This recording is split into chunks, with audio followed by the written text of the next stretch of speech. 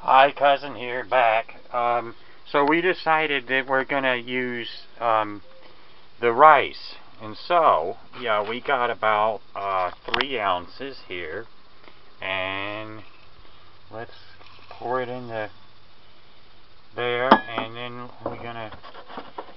It's brown rice, so it's gonna take a while. So this gonna get. We're gonna split the video again and let's get it up to six. If we have enough water.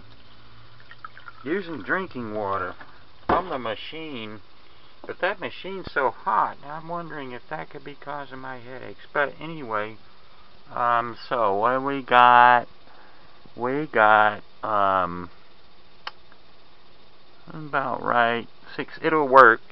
I cut it short. They tell me 42 minutes um whatever they say, 45, depending on the, uh, you know, altitude. I, I don't, uh, I cut this off about 35, 38 minutes and don't even use the entire um, time because it's just waste a dwindling supply of propane.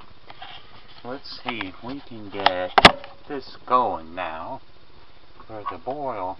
And I'm going to show you that I'm going to put this this um, rice into this boiling water. so we'll catch up in a couple minutes.